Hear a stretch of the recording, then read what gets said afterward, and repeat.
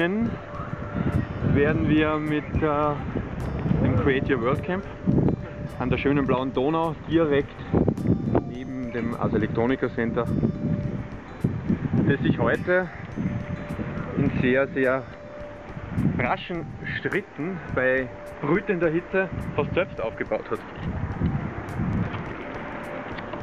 Hier sieht man schon, dass was gestern eigentlich noch äh, Idylle und äh, Lände gewesen ist, ist heute schon eigentlich äh, die verfleischlichte Vorahnung dessen, was bei Create Your World sich da abspielen wird. Also man sieht hier einfach ein 35 Meter langes Zelt, das, oder vorweg, äh, dass die Straße gesperrt ist, ähm, dass das Areal mehr oder weniger schon erobert ist äh, und jetzt aber zu unserem eigenen gemacht wird. 35 Meter ist dieses Zelt lang und 5 Meter breit. Wird die zukünftige Behausung von äh, U19 Create Your World äh, den Preis gewinnen des, der Kategorie sein. Einerseits und andererseits auch die Ausstellung zur Next Idea, die auch eine Kategorie des Prix als, als Elektronik ist. Dort unten die äh, straffen männlichen Körper, die wir da sehen, das äh, genau, sind jene Jungs, die äh, das Interieur da reinbauen, nämlich ein Auszug des Paplabs aus Ottensheim, die Gratsche Familie unter anderem. Und jetzt das Bedienen der Kappsäge.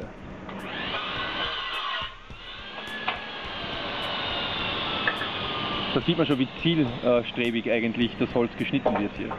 Da wird nicht irgendwo gebohrt, sondern gleich geschnitten und das in einem Schnitt.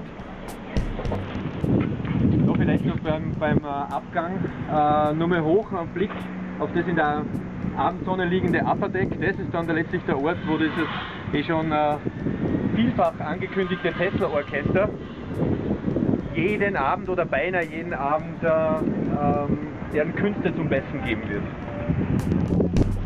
So, jetzt tauchen wir ein auf die oder in die Ebene des Create Your World Camps. Ich sehe das jetzt noch von einer, von einer anderen Perspektive. Hier die nur sehr roh wirkenden Bauwegen, die später dann Behausung für äh, sehr bunte, sehr mannigfache äh, Projekte zum Thema Create Your World sein werden. Äh, hier der Import-Export-Container, der eigentlich schon so ist wie Import-Export-Gründer, äh, Gründerinnen in Schuf. Ähm, der Doppeldeckerbus, alter Bus von der Linz AG oder ja, von der Linz AG, ja, Straßenbahngesellschaft. Auch Heimat von diversen Projekten. Da die Straße hier sollte dann eigentlich noch immer weiterhin ähm, frei bleiben, beziehungsweise frei für Flanierer, Flaniererinnen äh, und natürlich auch für die Gastronomie, die dann später sich hier ausbreiten wird. Ähm, so gastronomische Perlen dieser Stadt wie das Movimento oder wie der Wirt am Graben, die konsequenterweise ähm, mit Ingredienzien und Ressourcen aus der Umgebung, eigentlich aus dem Müllviertel, zu 100% dann aber aus Oberösterreich agieren. Es ist alles Bio. Die Qualität äh, des Verzehrs der Nahrung wird eine hohe sein und wird jetzt nicht nur den Kindern hier angepasst sein, sondern man kann sich dann letztlich hier an einem lauschigen Spätsommerabend äh, niederlassen und dem Treiben frönen oder halt dann am Abend dem Spielen mit der Fassade äh, äh, beiwohnen und das Ganze bei einem gediegenen Essen und bei, bei guten Getränken. Da hinten dieser äh, kleine silberne äh, Waggon aus den 50er Jahren, das wird das äh, Objekt oder jenes Objekt werden, mit dem wir mit der U19 Create Your World äh, auf Tour gehen werden. Das äh, ist so eine Zusammenarbeit zwischen der Lehrwerkstätte von Rotax, teilgesponsert oder mitgesponsert von der Sparkasse Oberösterreich. Die Preisgewinnerinnen, also die goldenen Nika-Gewinnerinnen der U19-Kategorie, die ja ihres Zeichens ein Haufen Kids sind, die von der Kunstgewerbe ähm, Schule in Linz einerseits und auf der anderen Seite von der HTL Leonding stammen, die werden zusammen mit den anderen, mit dem Gregor, Mitarbeiter von uns, dieses Teil umbauen. Also die werden zusammen äh, diesen Wagen umbauen und äh, Der Wagen wird dann sozusagen als Metapher zu unserer Haltung zu Create Your World, also die Fragestellung, welchen Raum braucht Jugend zur natürlichen Entfaltung, die werden diesen äh, Waggon dann so umbauen, dass das sozusagen äh, überall so ein Icon für unser Vorhaben sein wird.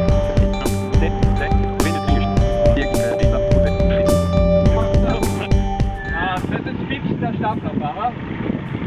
Seines Zeichens Enfant terrible aller äh, auf der Welt existierenden Skills handwerklicher Art, elektronischer Art, zweifärbig. Und äh, wir werden jetzt, äh, Moment auch, ja, nur, nur auf die Bezeichnung dieses Vehikels ist auch noch zu achten, nämlich Manitou. Wir werden nun diesen Manitou äh, zusammen mit Fix besteigen, um Eine Reise in eine Reise in das Camp von Create Your World das zu machen. Bitte schön.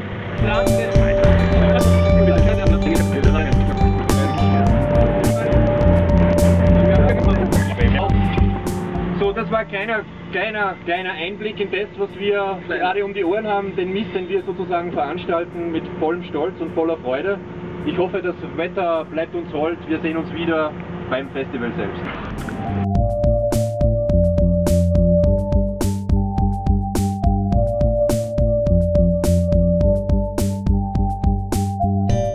Auf der Fahrt hin zum Lentos. Jener Ort, der eine Ausstellung, scheinbar auch zentraler Ort für die lange Konzertnacht und fixer Ort äh, für Sam Auingers äh, Installation.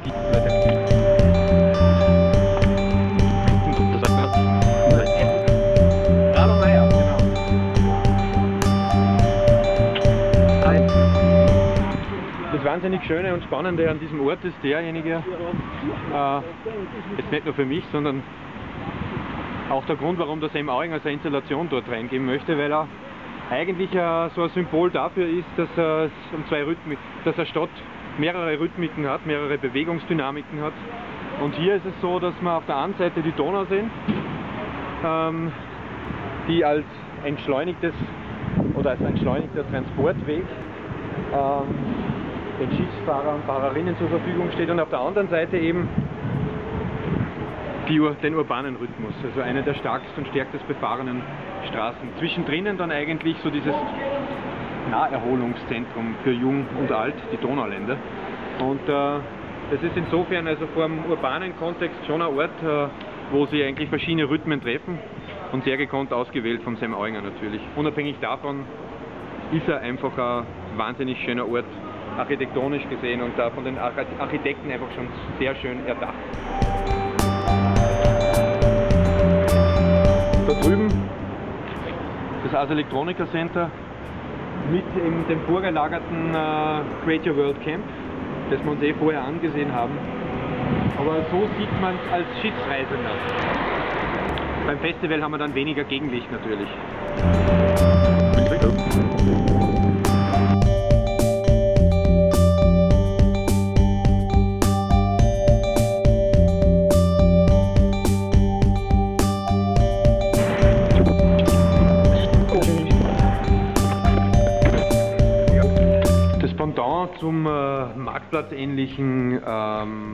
Schaustellertum bei Create Your World ist äh, das konzentriertere, entschleunigtere äh, Brucknerhaus. Die Konzertvenue, ähm, die alle Jahre wieder quasi die Konferenz-Location des Festivals wird, ähm, mit ihrer wunder wunderschönen Lage, ähm, mit den hochspezialisierten Räumlichkeiten für konzertante Aufführungen, performative Aufführungen, musische äh, Angelegenheiten, äh, bietet uns Jahr für Jahr eigentlich äh, Behausung für diesen eher konzentrierteren, eher ruhigeren im Sinne von Veranstaltungen Ort. Wild geht es natürlich auf der theoretischen Ebene in den Symposien zu, ähm, aber den Raum, nur den Raum, den schauen wir uns dann gleich. Hier sind wir jetzt in dem Ort, wo ähm, die Interface Cultures ihre studentische Ausstellung macht. Das ist ein Teil von Campus, der auf der einen Seite im Hauptgebäude der Universität, der Kunstuniversität am Hauptplatz äh, präsentiert wird, nämlich mit der äh, Tsukuba University aus Japan. Und eben andererseits eben äh, alljährliche Gäste, die Studenten und Studentinnen von der Christa Sommerer und vom Laurent Mignon, äh, äh, als auch von Martin Kaltenbrunner, ähm, die ja äh, quasi einen Medienzweig in der Kunstuniversität äh, bekleiden und bespielen und äh, jedes Jahr sehr erfrischende ähm, Querschnitte und Einblicke uns gewähren in deren künstlerische und studentische Arbeit. Das Ganze ist übrigens eigentlich normalerweise das Foyer also der Garderoberaum des Brucknerhauses, sehr opulent und elegant gestaltet. Ähm, und dieses Jahr geteilt, eben Interface Culture auf der einen Seite, auf der anderen Seite eine von uns kuratierte ähm, Kinoscreen-Landschaft, wenn man das so nennen kann. Hier äh, sieht man schon, ähm, das ist eigentlich eine sehr, man könnte sagen, gewagte Architektur. Nein, das ist ein, ein, ein, Umgang eigentlich mit sehr rohen Materialien. Wir wollen da eigentlich diesem Raum nichts aufzwingen, sondern eher spielerisch ähm, hier äh, mit den äh, Umgebungen umgehen. Und hier haben wir den Architekten äh, von Anytimes, Jürgen Haller. Ähm, Genau, der eines hasst und zwar, wenn man mit einem Schneider verwechselt, was man sich als Architekt natürlich, also kann man das gut vorstellen. Das ist äh, äh, einer der zentralen technischen Figuren in dem ganzen äh, Gefüge des Festivals, der Michi Lettner. Leitscheicher Kerl. Ja, ist ein bisschen schüchtern, aber wird noch auftauchen. Äh, Nochmal kurz zu der Architektur und zu der Idee von dem Ganzen. Also wir wollen ja einerseits hier einen Unort für Ausstellungen äh, umtauchen in einen äh, atmosphärisch ausgewogenen Ort ähm, des Filmschauens, also des Verweilens auch. Es sind keine Kurzfilme, sondern es geht darum, dass man da schon durchaus einmal eineinhalb Stunden abhängt. Und ähm, da muss man natürlich dafür sorgen, dass das Ambiente klimatisch und atmosphärisch dazu passt. Anytime haben das ihre dazu beigetragen, hier mit deren Ideen und Ästhetik hier eine, eine sehr originelle Raumlösung zu finden, wo in Ruhe und, äh, und auch äh, in, äh, mit dem nötigen Respekt vor den künstlerischen Arbeiten äh, cinematografische Erlebnisse generiert werden können.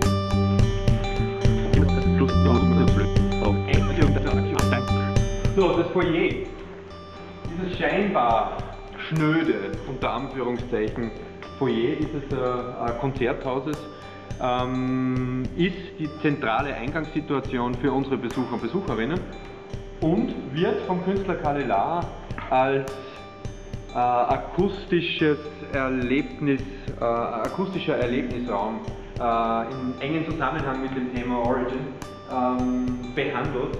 Kalelar äh, wird hier in diesen Räumlichkeiten äh, mehr oder weniger versteckt eine sehr mächtige Soundanlage reinbauen. Äh, wo es darum geht, dass der Besucher und die Besucherin ähm, mit dem akustischen Erlebnis von Feuer, von loderndem Feuer, von kleinen Feuerchen, von äh, Zigaretten anzündenden Feuerchen ähm, konfrontiert wird.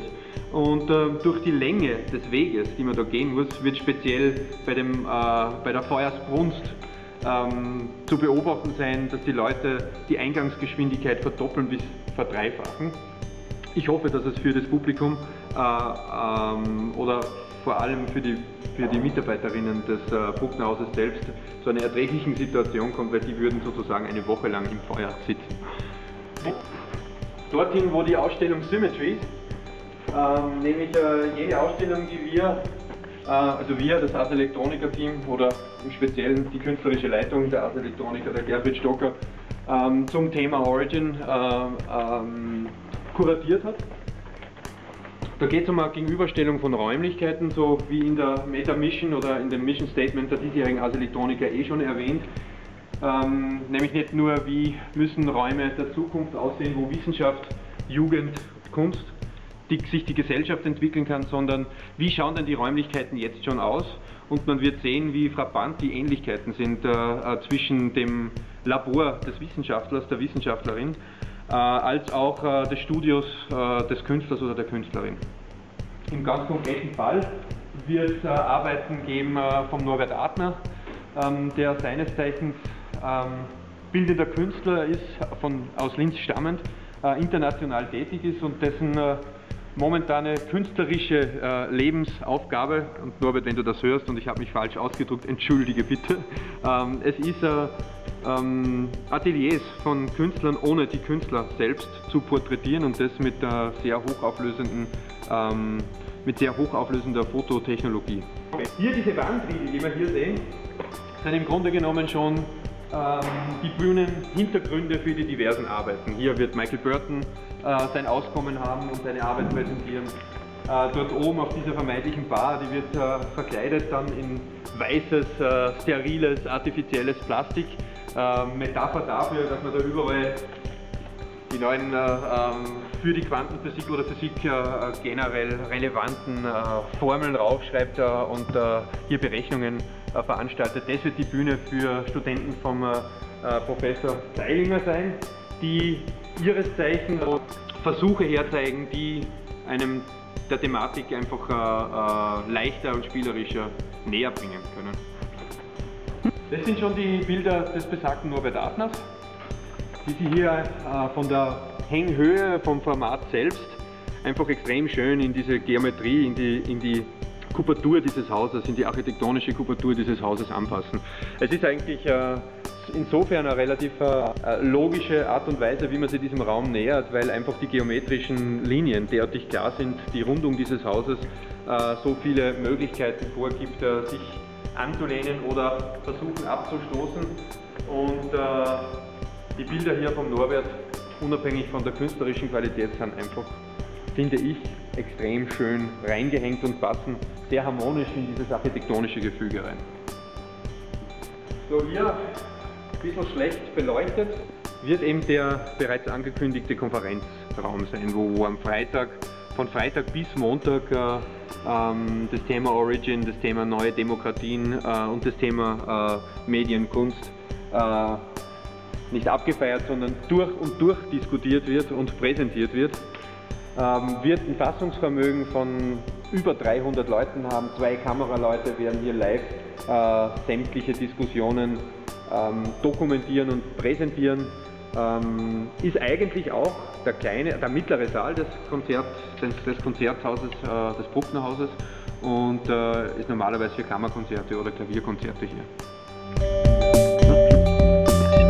Die äh, Flächen hier noch, die werden alle dann noch auch in weißes Plastik gehüllt. Ganz artifiziell und künstlerisch, äh, von wegen der Bühnenhintergrund, laborhafter, studioartiger Hintergrund. Neutral in neutralem Weiß gehalten oder in unschuldigem Weiß gehalten. Hier dieses schwarze Loch, wenn wir da reinschauen, äh, hat jetzt nichts mit der Errungenschaft in CERN zu tun, sondern dahinter eröffnen sich äh, die schier unendlichen Weiten des größten und elegantesten Konzertraumes, Saales dieser Stadt. Ähm, hätten wir etwas mehr Licht könnte man hier schon hinten äh, äh, am Bühnenhintergrund ähm, das Projektionstuch sehen, das sich mit einer Größe von über 16 Meter hier äh, hinten ausweitet und äh, speziell für die Gala dann die Medienoberfläche sein wird, äh, wo die Zuspieler vom ORF, wo die Preisträger und Preisträgerinnen, die politischen Unterstützer und Unterstützerinnen, die Sponsoren ähm, äh, präsentiert werden. Das Ganze findet am Freitag ähm, während dem Festival statt und ist die sogenannte Hochglanzveranstaltung der Ars Electronica. Da drinnen passiert aber nicht nur die Hochglanzveranstaltung äh, im Präsentationssinne, sondern natürlich auch Hochglanz im Sinne von der Muse, von der musikalischen und visualisierenden Muse. Äh, die große Konzertnacht, die am Sonntag stattfindet, aber auch das Montagskonzert, äh, wo die Preisgewinner und Gewinnerinnen der Digital Musics Kategorie als auch ein Preisträger von der Hybrid Kategorie präsentiert werden, konzertant präsentiert werden. Fassungsvermögen an die 1200, 1300 Personen. Ähm, die werden wir bei der Gala ganz sicher haben, die werden wir bei der großen Konzertnacht ganz sicher haben. Ähm, und äh, auch am Montag wird es äh, äh, kuschelig voll werden. Nämlich äh, zur dunklen Macht dieses Festivals äh, die interne Organisation. Hier für alle eingeladenen und involvierten Künstler extra Tresen hat äh, Infodesk gehabt und hier der Infodesk generell, wo Merchandising, Tickets etc. etc. an Kulturinteressierte und Kulturinteressiertinnen verkauft und äh, übergeben wird.